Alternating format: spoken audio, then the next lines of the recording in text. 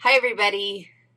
We're here today to talk about basically skeletal muscle biomechanics. In the last lecture, we talked about the mechanism of uh, myofiber contraction.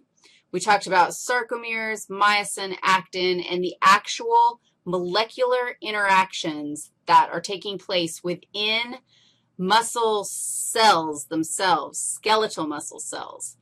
And in this lecture, we're going to take a little bit of, we're going to back up a little bit and look at a few concepts of how muscle organs act overall and just some interesting characteristics of muscle function.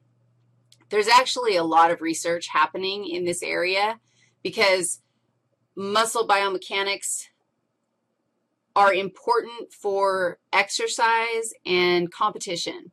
And so there's lots of people who want to maximize their uh, performance.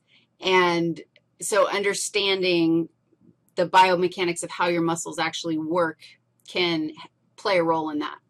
So the first thing we're going to look at is um, why muscle cells, why, why do we get tired? Why do our muscles get tired? And what is that? What is fatigue when you think about a skeletal muscle organ.